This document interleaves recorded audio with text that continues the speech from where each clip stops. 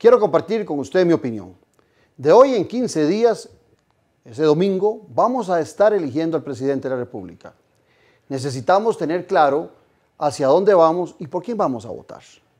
Hay cosas que determinan el voto de acuerdo a la región, de acuerdo a la ubicación económica de la persona, de acuerdo a las expectativas personales.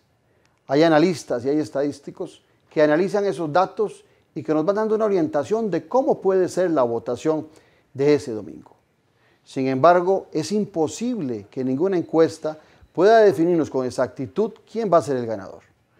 Es posible que esta elección sea una de las más aguerridas y más disputadas. Sin embargo, en 15 días sabremos quién es el presidente de la República y nuestro compromiso al lunes siguiente es estar comprometidos totalmente con el presidente que hayamos escogido unos cuantos costarricenses, pero que al final de todos es el presidente exactamente de todos. Solo un país junto, unido, solidario, saca adelante a una nación. Pensar que unos cuantos tienen la tarea como únicos responsables es una falacia. Esa es mi opinión.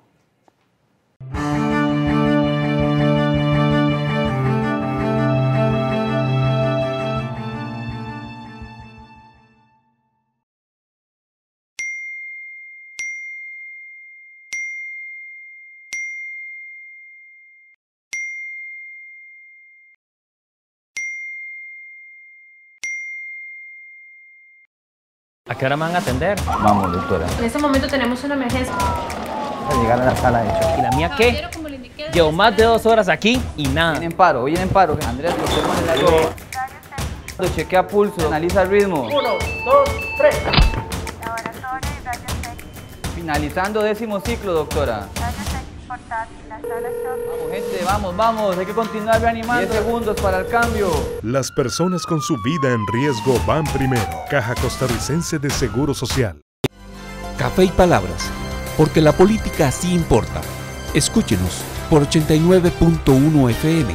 Café y Palabras. Charlas de café le involucran en el acontecer en el día a día de la sociopolítica nacional. Café y Palabras, porque la política sí importa. Por 89.1 FM, La Superestación. Un programa con aroma de café y con sabor a gente. Café y Palabras. La mejor revista política del país. Decisiones. La revista que expone el análisis de la buena política. Adquirila en la recepción del Club Unión. O también llamando al 2273-1473. Valor 4.000 colones. Ingresa e inscribite en la versión digital revistadecisiones.com.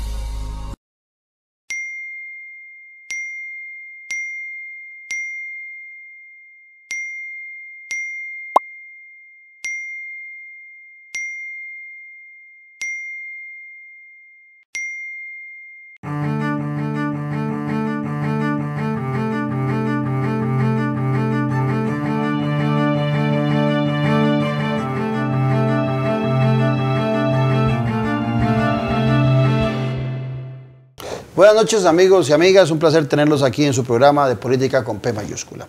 Estamos a 15 días de las elecciones, elección que tiene muchas eh, variables que deberíamos analizar de aquí a ese día y que vamos a intentar eh, visualizar qué puede suceder o por lo menos qué es lo importante que está aconteciendo, eh, puesto que la política cambia todos los días y seguro no hay absolutamente nada más que el día propio de las elecciones. Para eso he invitado a dos profesionales, a dos reconocidos especialistas e investigadores para que nos conversen al respecto. Primero Alejandro Barahona Kruger, que es analista político, politólogo, relacionista internacional y profesor e investigador en la Universidad de Costa Rica y en la Universidad Nacional. Y por otro lado tenemos a Diego Fernández Montero, analista político, científico de datos y máster en ciencias políticas. A ambos, eh, buenas noches, bienvenidos a Noches sin Tregua y les invito como arranque, como de costumbre, a brindar por nosotros, por el televidente y sobre todo por nuestro país. Salud, salud. Diego, yo he venido eh, en, en mi programa de radio hablando mucho y escribiendo alrededor de los números que se dieron en primera ronda y quisiera una lectura tuya eh, previa sobre eso que aconteció. Yo he dicho que entre los dos candidatos suman muy poca cantidad de gente. es un millón cuatro mil personas, donde en esa cantidad de personas Fabricio Alvarado le saca a Carlos Alvarado 72.500 y resto de votos, que es una cantidad significativa, son más de 3.6, si mal no recuerdo, en la primera ronda, y que por supuesto la, la gran eh, ventaja que podría tener Carlos todavía en este marco es que hay una pecera de 2.300.000 personas que no votaron por ninguno de los dos o que no fueron a segunda ronda y que es la gente que puede decidir la elección si se incorporan. Vos que analizás los datos como científico de datos, eh, ¿cuál es la lectura que haces de la distribución regional, de cómo se dieron los números en esa primera ronda donde Fabricio saca ventaja? Sí, muchas gracias Claudio por la pregunta. Eh, definitivamente ya se dio una un, primer pulso entre ambos candidatos y se pudo medir la fuerza de uno u otro y además eh, dónde estaban las fortalezas también, eh, cuál era el perfil de electores que los apoyaba, en qué regiones del país tenían más o menos apoyo. Y en términos generales podríamos decir que la mitad de cantones lo ganó eh, Fabricio y la mitad de cantones lo ganó Carlos, cerca de 40 cada uno. Comparándolo solo a ellos dos. Solo comparando cuál ganó entre ellos dos. Pero ¿cuál fue la diferencia? ¿Por qué esos cerca de 73 mil votos en favor de, eh, de, Fabricio Alvarado? Resulta que en algunos cantones que ganó Fabricio, eh, el gane fue mucho más contundente. Estoy hablando de que en tres cantones eh, concentran la mitad de esa diferencia de 73 mil votos.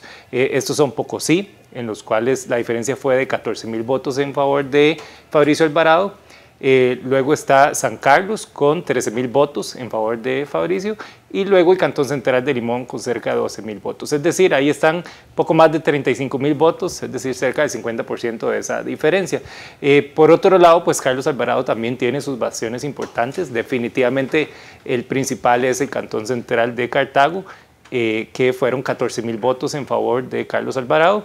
Sin embargo, los otros que le siguen, que sería Montes de Oca, con poco menos de 8 mil votos y eh, cerca de 7 mil votos en el caso del Cantón Central de Heredia. De, de, de, interesante porque siempre se ha definido como un nicho PAC, ¿verdad? Y sí, lo sigue siendo, ¿verdad? Es decir, eh, eh, en ese caso los bastiones en términos de cantones a nivel nacional del PAC serían, en primer lugar, Cantón Central de Cartago, Montes de Oca y Heredia.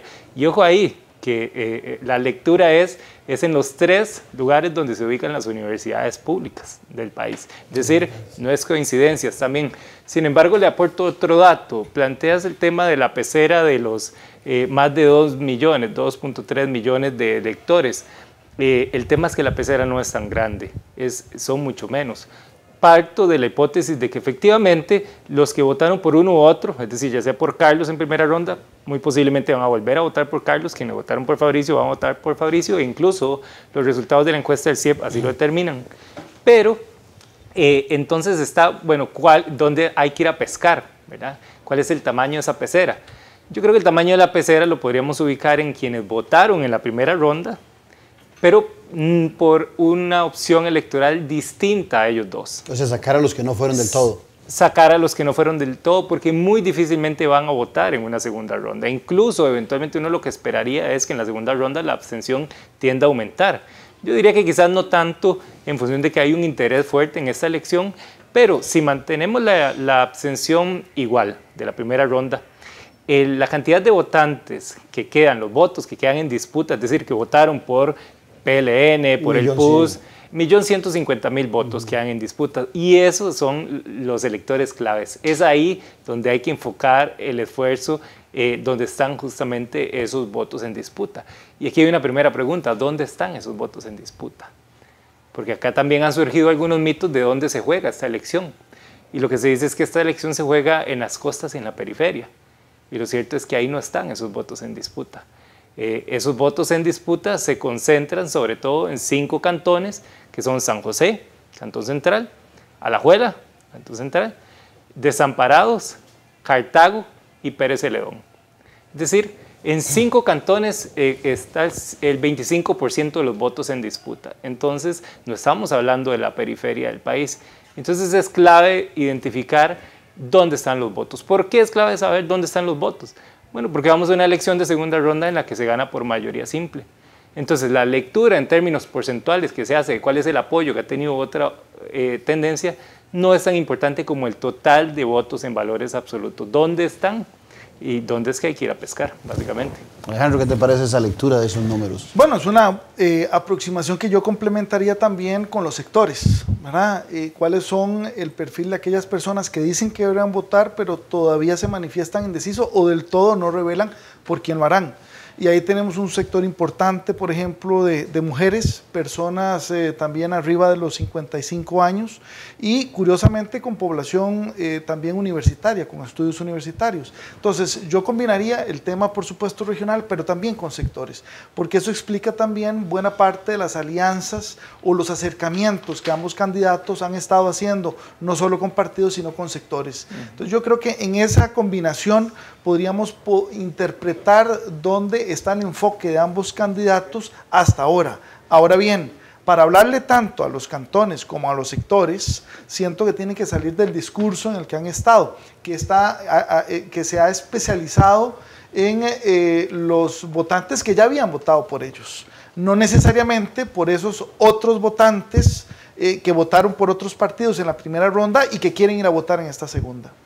Pero, pero en ese movimiento que ve uno de la gente, eh, podría uno asegurar que, que, se pueda mantener la diferencia que, que, se dio de que en el caso de Fabricio Alvarado ganó las los tres eh, provincias costeras, Guanacaste, Limón y Punta Arenas, ganó a La Juela y que San José, Cartago y Heredia eh, le pertenecieron a Fabricio, ah, perdón, a Carlos. Alvarado pero eh, lo que a mí me llamaba la atención en esa lectura era que Fabricio en casi todas las demás provincias en las que perdió quedó de segundo. En cambio, el caso de Carlos Alvarado, el PAC quedó hasta de cuarto en algunas provincias.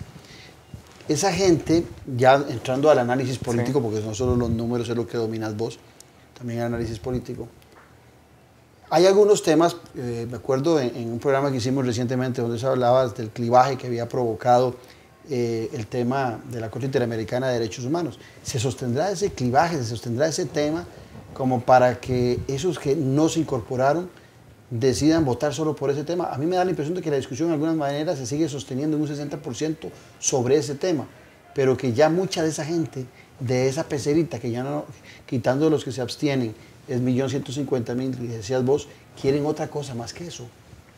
No, definitivamente eh, hay que entender que la base de apoyo electoral eh, de, ambos, eh, de ambas tendencias está sustentada sobre la base de ese clivaje, esa diferenciación ¿verdad? en términos de, de las libertades personales, es decir, que quienes apoyan o no el matrimonio entre personas del mismo sexo, básicamente. Es decir, esa es la, esa es la principal fortaleza de la cual parten cada uno de los partidos. Pero sin embargo, incluso viéndolo a nivel de provincias o cantones se vuelve muy amplio. Yo iría un poco a un análisis más fino para identificar cuáles son realmente las, lo que nos está polarizando hoy, cuáles son esas diferencias.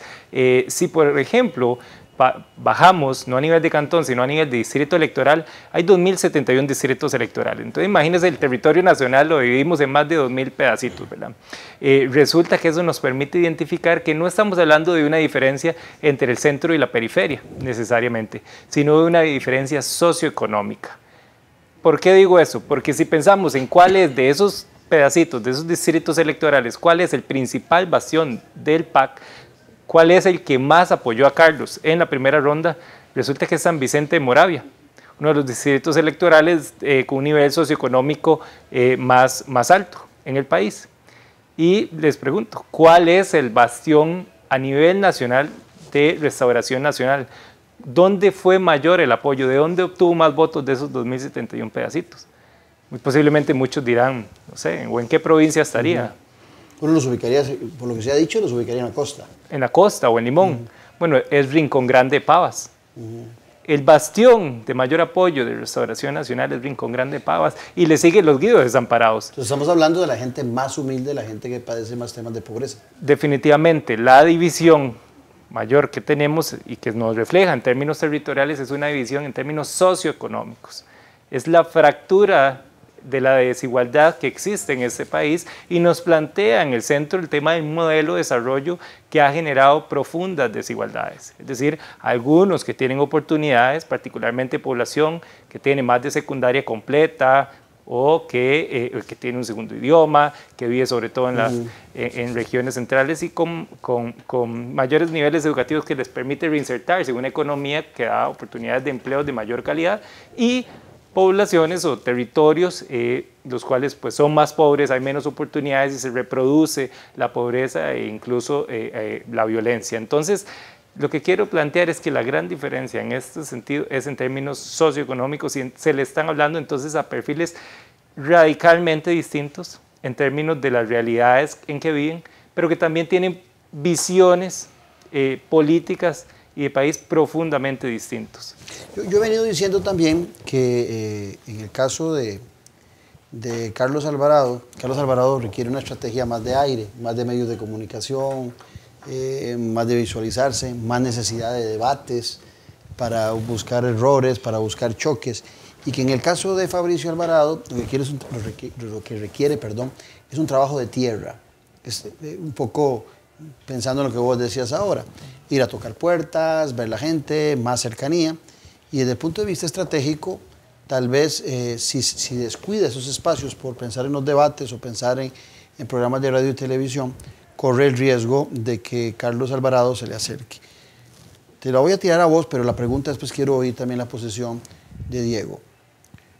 Porque mi lectura, puro olfato, Diego, no los números que vos manejas, sino a puro olfato, es que si la elección pasada, la del 2014, había más motivación para ir a votar contra Liberación con un candidato que se había retirado, y votaron 1.700.000 en la segunda ronda, entre la suma de los 1.300.000 de Luis Guillermo y los 400 mil, de, un poquito menos, de, de Johnny Araya, bueno, liberación sin candidato, nos dio 1.700.000. Yo siento, pero a puro olfato, y quisiera oírlos a ustedes, que estando la Semana Santa ahí, la votación de ese día, del primer domingo de abril, puede ser inferior. No sé cuál es la lectura tuya, Alejandro. Eh, Animándose a, decir cosas. Antes de responderte la pregunta, déjame eh, agregar un elemento que Diego de alguna manera introdujo, pero que me parece vital reconocer. Eh, a estas alturas se interpreta buena parte de la primera ronda electoral simplemente como un resultado casuístico, probablemente más orientado en términos del temor de que algún otro candidato pudiera pasar a la segunda ronda. Y yo creo que la ruptura de, que, mencionaba Diego es mucho más profunda. Se quiso reducir el, análisis de la primera ronda a solamente la opinión o el criterio constructivo de la Corte Interamericana y yo inclusive agregaría también los casos de corrupción que no paran de salir eh, también y que no involucran solo esta eh, administración o solo actores de esta administración, pero principalmente de esta.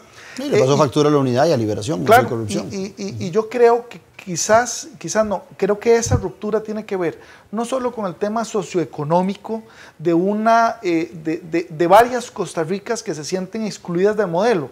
Y, lo podemos ir no solo en términos de esa nueva y vieja economía de la que hablaba el Estado de la Nación, sino inclusive de los sectores ganadores, perdedores, del sector urbano y del sector rural. Y yo creo que lo que estamos viendo es una respuesta a eso a partir no de una coyuntura solamente de esta administración, entiéndase la de Luis Guillermo Solís, sino que ya desde varias eh, administraciones anteriores se viene abonando, se viene acumulando. Todo lo que se está percibiendo es que sea uno o sea el otro, y quizás por eso eh, los partidos tradicionales no estén en la segunda ronda, es porque esa Costa Rica no está viendo en ellos opciones de, eh, digamos, de mejorar su situación. Y esto lo uno también al otro elemento que ya algo se ha mencionado en términos históricos, en términos de que cuando el Estado cede espacios, sean términos urbanos o sea rurales, es tomado por otras organizaciones. En este caso, la ausencia del Estado, especialmente en las costas, y yo diría en las áreas eh, también... Esos barrios marginales. Eh, exacto, pero también, ojo, en las áreas limítrofes también. Por eso hablamos de la Lajuela Norte, etcétera. Eh, lo han tomado en buena parte, yo diría las iglesias, incluyendo la católica. Esto no es un tema solo la pentecostales, sino también la católica. Y ese espacio es un espacio muy interesante porque al final le abona a un choque también tenemos que ver que hay en esta segunda ronda que para mí es estrictamente ideológico. Ideológico, ¿por qué? Ya no en términos de la socialdemocracia, los social cristianos, como eran antaño, sino más bien desde una posición un poquito más, vamos a decir, eh, eh, conservadora o progresista. Creo que se están aglutinando los sectores. ¿No te parece que serían, oyendo a Diego, los de arriba y los de abajo? Claro que sí. Por eso lo decía, la primera etapa es esa, pero la segunda también tiene que ver con un corte ideológico. O sea, no estoy reduciendo todo el análisis simplemente a los de arriba y a los de abajo, sino también lo estoy analizando a partir de estas otras eh, variables. Antes de ir, eh, porque me quedaste viendo la respuesta, pero antes de esa respuesta, me parece que lo que estás diciendo vos es interesante y, Diego como analista político también podría aportarle algo adicional a eso. No, definitivamente yo, yo aportaría, eh, estoy de acuerdo de que la, la ruptura es en términos, digamos, de progresista conservador, es decir, esta vez no es la polarización en torno a libertades económicas, que es ese espectro ideológico que normalmente es más fácil clasificar de izquierdas y derechas, ¿verdad? Sino que estamos hablando de libertades personales, es decir, eh, y ubicamos en progresismo conservador. Sin embargo, eso que fue lo que organizó el voto en la primera ronda, ambos candidatos han intentado distanciarse de esa división de alguna forma y han buscado otras, otros temas. En este caso, el tema ha sido, ha habido una, una fuerte lucha por, eh, por dar señales claras de seguridad económica. Aunque los comerciales de Carlos Alvarado lo he visto metiéndose en el tema de la familia, que no era el tema de él en la primera ronda. Yo creo que se está eh, protegiendo la espalda de lo que puede venir a ser el tema y a eso voy a, voy a llegar y es que a pesar de que los dos han tenido esfuerzos, eh, yo creo que en mayor o menor medida, pero ambos bastante, eh, eh, bastante claros en, en, una tendencia, digamos, más hacia la derecha o dar seguridad económica a un sector específico que es el sector productivo, ¿verdad? sin embargo, entonces caemos en lo mismo en que es difícil diferenciarlos por el tema económico. Es decir, ¿cómo ahí. Parece que están, digamos, es, muy difícil. Estamos en un centro, centro derecha de pronto. Es decir, incluso en términos de la discusión del déficit fiscal, creo que eh, con respecto, por ejemplo, a los ingresos, estamos bastante similar. Los dos hacían un IVA, un IVA incluso eh, similar, un 13, mantenerlo en 13%. Hay una discusión un poco más en términos de, de, de, o, o, de, o del recorte de gasto y demás, pero es difícil diferenciarlos y caemos en temas técnicos. Entonces, vamos de nuevo. Vamos a una elección que se va a definir en función no de sus similitudes, sino de sus diferencias. Y las diferencias siguen estando en el terreno de las libertades personales. Sigue estando entonces aquí en juego eh, eh, el clivaje justamente progresista conservador, porque se le ha dado también cierta seguridad eh, a los grupos económicos, pero no parece que ese tema que estamos pateando la bola en términos, por ejemplo, del matrimonio igualitario, no se le ha dado seguridad ni a uno ni a otro de los bandos. Es decir, entonces todavía ese es un tema que, eh, que va a, motivar mucho. Y ahí entonces entramos en cuál es el esfuerzo, que me parece un tema que a discutir, que han hecho cada uno con respecto a las, a las, a las adhesiones, digamos, a, por ejemplo, particularmente eh, eh, con los partidos tradicionales, el PLN y el PUSI, qué tanto rédito le generan en términos de esa discusión política, de lo que se estaba manejando para la para la porque, En esa, lectura, una lectura rápida podría ser, bueno, si la unidad eh, se acerca alguna gente con Rodolfo Pisa hacia Carlos y Liberación hacia eh, Fabricio, empatan. Si el Frente Amplio se va hacia el PAC y el Movimiento Libertario empatan, porque las, las, las fuerzas estuvieron un poco similares.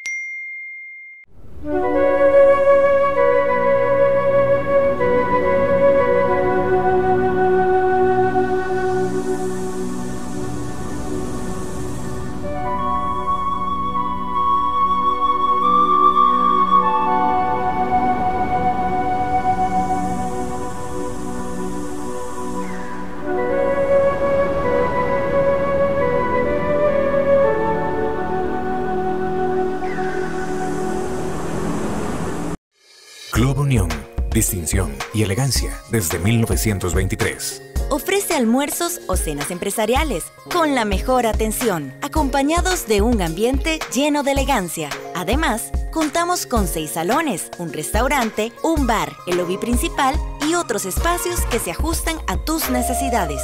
Estamos ubicados en el centro de San José, entre avenidas Primera y Tercera, en calle 2, frente al edificio del Correo Central. Más información al 2257-1555. Club Unión. Privacidad y confort.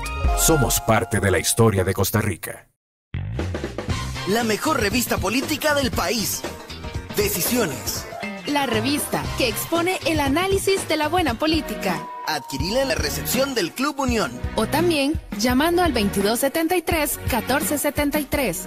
Valor 4.000 colones. Ingresa e inscribite en la versión digital revistadecisiones.com.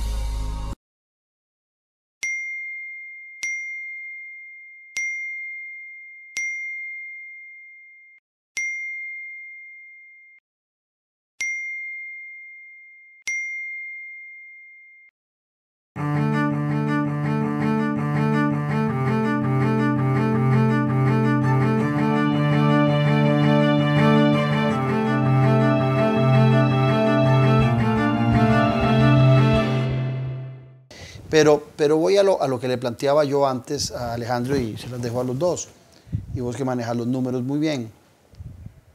Bueno, yo, no, yo no encuentro una motivación para que haya en números absolutos más gente, si hay un clivaje, si ese clivaje es suficiente, ese, ese de la familia, ese de- del matrimonio sexual, es suficiente como para que se incorpore más gente en segunda ronda, estando la Semana Santa. Yo sé que es un poco subjetivo el tema, pero será suficiente porque habría que analizar también en la, en la otra segunda ronda de Abel Pacheco y Rolando Araya, creo que fue de millón doscientos, no recuerdo bien cuánto fue la gente que se, que se acercó, pero yo no encuentro la efervescencia, más bien cuando uno conversa con la gente, encuentra gente que está eh, ante la dificultad de decidir por uno de los dos, está valorando la, la posibilidad de no ir a votar. No, en eso, es decir, yo, yo no, no voy a jugar de adivino eh, de que si va a aumentar o, o qué tanto va a aumentar la abstención.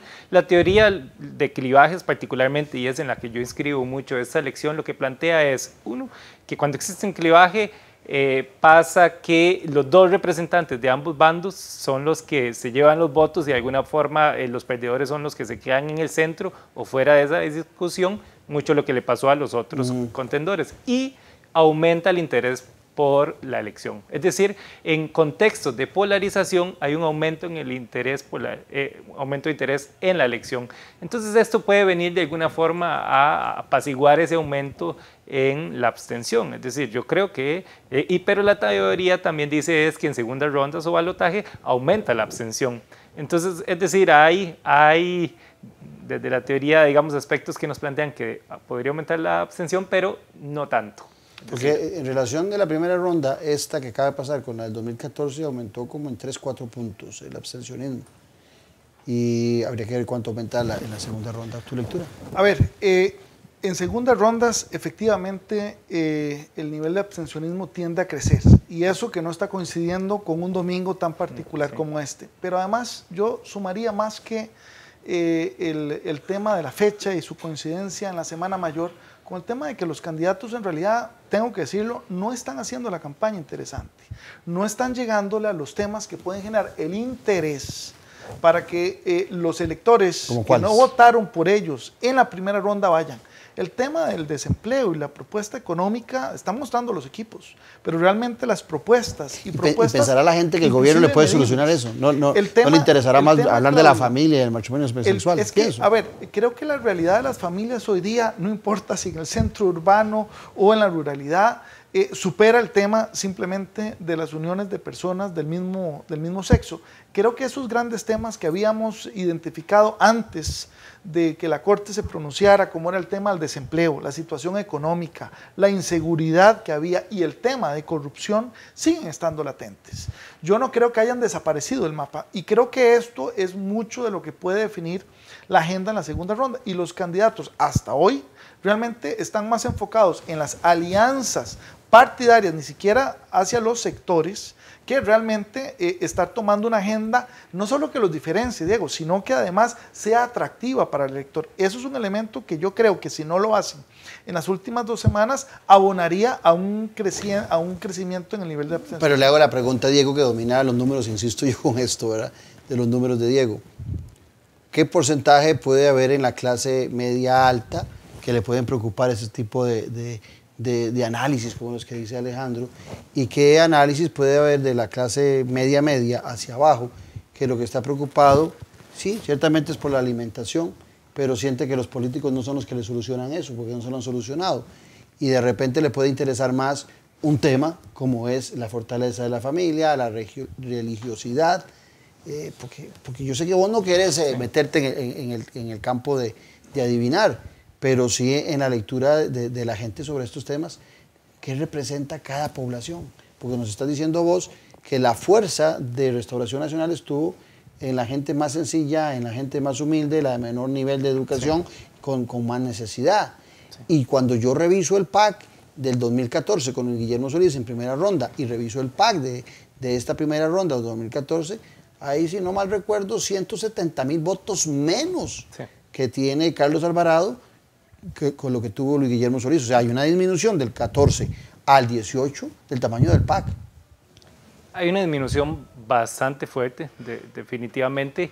Eh, y, ya le explico quizás en parte esa disminución y para introducir otro tema que es bastante interesante. Quizás antes la, la pregunta, eh, vamos a ver, aquí el tema es que esta elección lo que ha planteado es que eh, es una elección sumamente coyuntural, donde los temas que nos polarizan son los que organizan más el voto, son los que influyen más y pesan más que el partido, que ya vimos que nunca ha tenido tanto peso, eh, tampoco peso el partido como en esta elección, y, e incluso el candidato.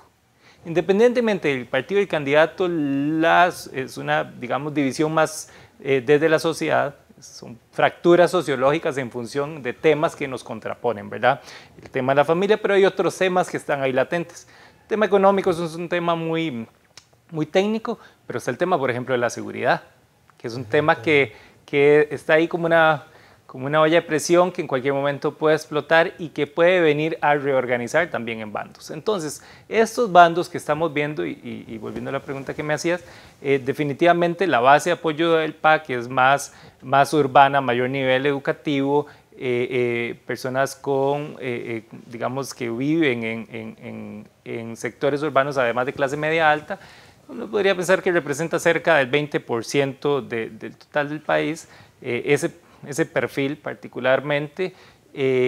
y en contraste, que además es un perfil que no está tan molesto con la gestión del gobierno, que, que cree que el futuro, digamos, es, es una percepción optimista que se tiene, versus una percepción mucho más pesimista de que el futuro del país está mal, de que el gobierno está haciendo una mala gestión, eh, pero también mucho en función de la realidad que se vive y estamos hablando de eh, los lugares, digamos, más, eh, más vulnerables socioeconómicamente que apoyan a Fabricio. ¿Cuál es el punto? Y esa disminución del apoyo que tuvo el PAC, porque el crecimiento que tuvo Fabricio se explica mucho por una disminución del apoyo a Liberación Nacional en las costas y en la periferia. Es decir, eh, eh, el Restauración Nacional le roba los votos a Liberación Nacional en términos territoriales, pero quien le roba mucho de su base de apoyo electoral a los votos del PAC fue el Partido de Unidad Social Cristiana. Es decir, el Partido de Unidad Social Cristiana no solamente tuvo un, un crecimiento importante en el apoyo al pasar de un 6% a un 16% eh, entre el 2014 y el 2018, sino que tuvo una profunda recomposición de su base de apoyo electoral. Les doy un dato. El cantón que más apoyó en el 2014 al PUS en todo el país fue Talamanca. Los cantones que más apoyaron en el 2018 al Partido de Unidad Social Cristiana fueron Santana, Escazú, Moravia y San Isidro de Heredia. qué interesante ese dato. Y esto para plantear lo siguiente, entonces, ¿qué le representa una adhesión como la de don Rodolfo Pisa, por ejemplo, don Carlos Alvarado. La recomposición. Lo que representa... Esa lectura que hiciste. Eh, lo que digo es que el PAC y el PUS tenían una base de apoyo electoral muy similar, digamos que eran casi partidos eh, primos, si se quiere, y hay un tránsito natural, tanto así, tanto así, que de hecho eh, es un, ochen- eh, sí, un 84% de los, eh, no, 48% de los electores que apoyaron a, eh, de los 350 mil electores que apoyan al PUS en la primera ronda, un 48% apoyan a, Carlos a la segunda ronda, versus un 17% a Fabricio. Pero ahora te la tiro a vos. En esa relación del 2014 yo podría comprender un poco que en esa rivalidad con Liberación Nacional y una Liberación Nacional que llegó y que estuvo fuerte en algún momento con Johnny Araya y que logra pasar a segunda ronda y a sabiendas que la unidad no tenía ninguna posibilidad, esa gente se pudo acercar al PAC por un rechazo a Liberación Nacional. Pero resulta que Liberación está en, el juego ahora. Ahora es Restauración Nacional versus PAC. Entonces, el comportamiento, podremos, podemos leer ese comportamiento de esa gente de la unidad que se pueda pasar también ahora. No solo diría yo en la lógica de que hay algunos temas comunes, inclusive recordemos que la primera alianza eh, legislativa que se da en este gobierno es precisamente con el PUSC. Buena parte de eh, el gabinete originalmente nombrado por Luis Guillermo Solís eran personas que también venían del PUSC, sin que necesariamente dijéramos que era por una cuota de poder del PUSC. Yo creo que ahí hay una, una afinidad con otro elemento histórico. Ambos partidos eh, han tenido el PAC desde su fundación y la unidad después de su crisis un proceso, diría yo, digamos, eh, eh, paralelo de renovación. O sea, mientras el PAC va creciendo, la unidad en realidad entra en su segundo ciclo a partir de la renovación de sus estructuras. Creo que ahí hay elementos comunes, pero Claudio, déjame eh, introducir también un elemento que puede ayudar también este, en este análisis un poquito más regionales, cuando nos salimos un minuto de la realidad inmediata e interna nacional. Eh, cuando vemos a nivel histórico las segundas rondas que se han dado en el continente, que son alrededor de 42, según algunos datos del colega eh, eh, eh, Daniel, hay un, Sobato, hay un elemento muy interesante. Prácticamente de esas 42, eh, alrededor de 12 han sido ganadas por el que quedó en segundo lugar y eh, las demás, alrededor de, de, de, de 29, 30, fueron eh, ganadas por el que pasó en la segunda ronda en el primer lugar. ¿Quieres agregar algo sobre eso? Porque tengo otra consulta que hacerles. Sí. No, o sea, eso, eso lo estaba pensando muy en la, en la lectura de lo, que, de lo que veníamos planteando justamente, de cuáles de esas alianzas, digamos, son más naturales, cuáles me aportan como tal y cuáles de pronto Mm. más bien eh, eh, en las que tengo que ceder mucho más, me pueden representar un costo político. Y estaba pensando, eh, por ejemplo, en los partidos tradicionales. Eh, hay una posición institucional de no tomar partido, me parece la correcta, sido así, sí. que contrasta con la posición de los miembros de esos partidos. De los ¿verdad? mismos candidatos. De- sí, incluso de los mismos candidatos, es decir, de las figuras políticas de esos partidos. Y yo creo que tiene mucho sentido porque eh, no tomar partido, eh, quedarse al margen, es perder una, un cierto protagonismo y una cuota de poder en, estas, en esta coyuntura electoral. Le pongo un ejemplo. Vea cuál es el protagonismo o el poder que tiene, por ejemplo, un Álvarez de Santi en contraste con un Rodolfo Pisa. Y entonces viene otra pregunta, por ejemplo, para, para, para el Partido Unidad Social Cristiana, que se partió, y es, ¿quiénes tomaron la decisión correcta? Porque hay muchos que todavía se están haciendo No, esa eso, pregunta. eso hasta, que esté- hasta que tengamos el resultado de la elección vamos a ver quién tomó la decisión. Depende, de, porque ¿cómo la evaluarías? ¿Cómo evaluar una decisión estratégicamente correcta? ¿Quién gana? Pero no necesariamente correcto, porque, eh, ¿por qué? Porque resulta que eh, si uno lo piensa en términos de Fabricio y de Carlos, es una discusión que no vamos a resolver. Es la misma discusión en la que estamos enfrascados de que uno no escucha los argumentos del otro y viceversa. Pero entonces, ¿cómo hacemos esa pregunta y cómo la respondemos de forma distinta? Yo la plantearía cuál sería la decisión estratégicamente correcta para el Partido de Unidad Social Cristiana, para los intereses del partido que con vocación de partido es lo que Y quiere vos es acceder partirías de que, de que Pisa, perdiendo el PAC, podría haber ganado también entonces. Yo lo que parto es de que la, la- decisión para- para el correcta estaba en 2022, pensando. entender cuál, la decisión correcta pasa por entender cuál es su base de apoyo electoral. Y su base de apoyo electoral, como dije, es con este crecimiento que tuvo el Partido Unidad Social Cristiana fue más urbano, clase media alta, perfil socioeconómico de personas más, eh, más educadas y además el perfil socioeconómico del PAC. Entonces, esa, ese perfil tiene un tránsito nacional Sí. hacia el PAC. Entonces yo lo que quiero plantear con eso, Claudio, es que para mí la decisión correcta en términos de estrategia electoral, por ejemplo, para el caso de don Rodolfo Pisa, era justamente apoyar a un Carlos Alvarado. ¿Por qué? Porque el costo político a lo interno de su base de apoyo electoral es menor. Vea que si llevamos esos números de los porcentajes que apoyan a uno, de los 350 mil votos, 47% que apoya a Carlos Alvarado son 162 mil votos. 18% que apoyan a Fabricio son 62 mil votos. En términos muy simplistas, lo que diríamos es que el costo político de apoyar a Carlos es más 100 mil votos de su base propia de apoyo electoral o menos 100 mil votos de apoyar a un, a un Fabricio. Además, le sumo algo, y es que si ganara, por ejemplo, un Carlos Alvarado, ese voto racional, más urbano, eh, eh, eh, va, va, a tener ya un desgaste importante después de dos periodos consecutivos y va a buscar una alternativa.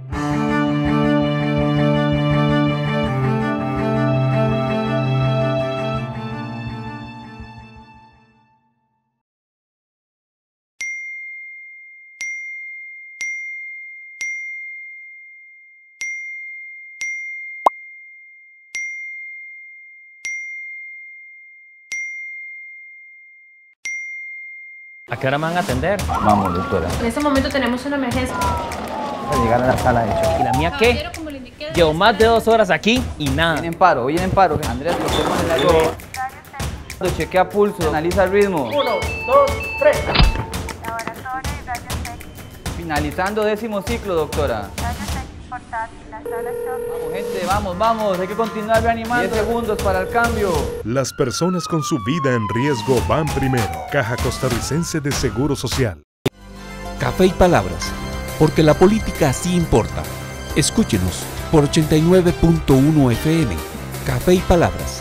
Charlas de café le involucran en el acontecer en el día a día de la sociopolítica nacional. Café y Palabras, porque la política sí importa. Por 89.1 FM, La Superestación. Un programa con aroma de café y con sabor a gente. Café y Palabras. La mejor revista política del país. Decisiones. La revista que expone el análisis de la buena política. Adquirila en la recepción del Club Unión. O también llamando al 2273-1473. Valor 4.000 colones. Ingresa e inscribite en la versión digital revistadecisiones.com.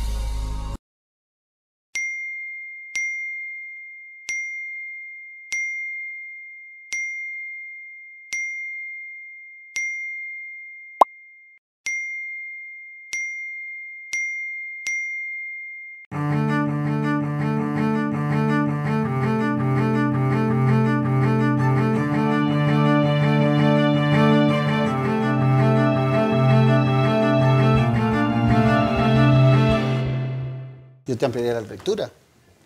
Esa estructura le dará espacio luego a Rodolfo Pisa.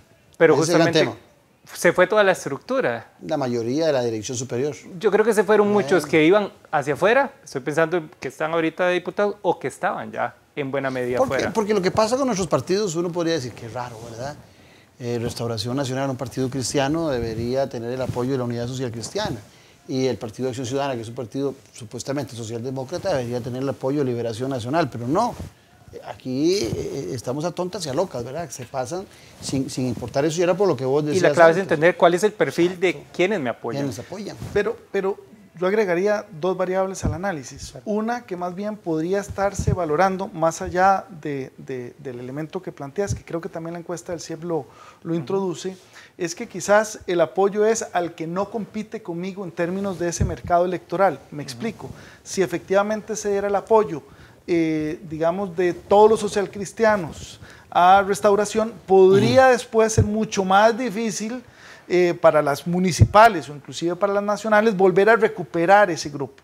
Pero alguna, alguna gente está diciendo que tanto Liberación como Rodolfo Pisa están cometiendo el error de fortalecer al PAC y a este, Restauración Nacional para el que- futuro. es que ahí, Pasándole ahí- la ahí- gente. ahí va el segundo punto. El segundo punto es, eh, eh, en la coyuntura inmediata puedo entender que el que no esté en uno u otro pueda perder alguna vigencia, pero es que hay que pensar un poquito más, digamos, en el mediano largo plazo. ¿Cuál puede ser el costo en este momento de cara a esas personas que están dando la adhesión y que en muchas ocasiones inclusive a veces resultan incomprensibles por las posiciones que anteriormente habían expresado de cara a futuro?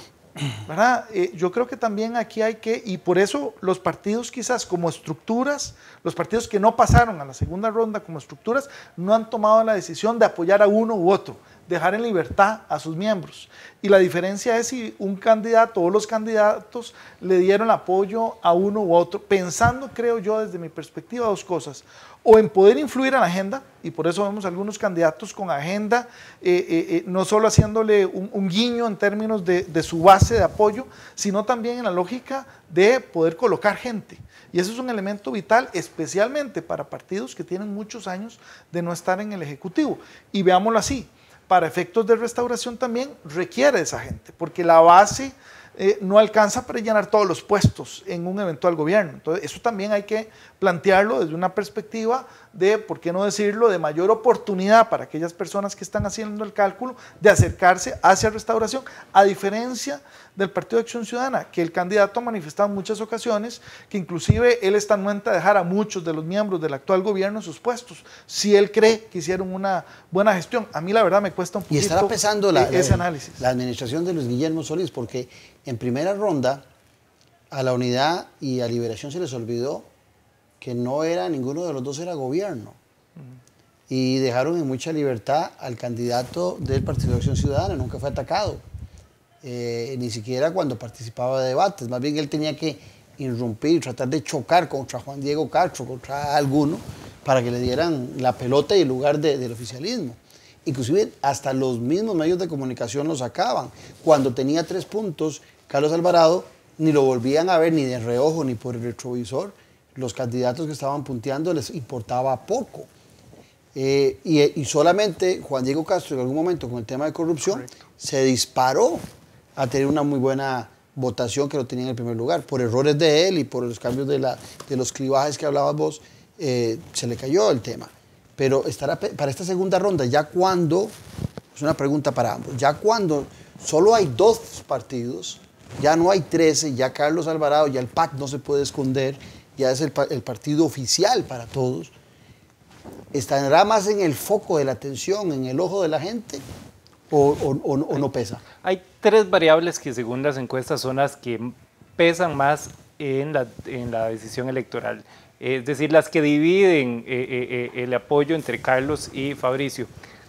Una primera variable y la que va a tener más importancia es la variable territorial, ¿verdad?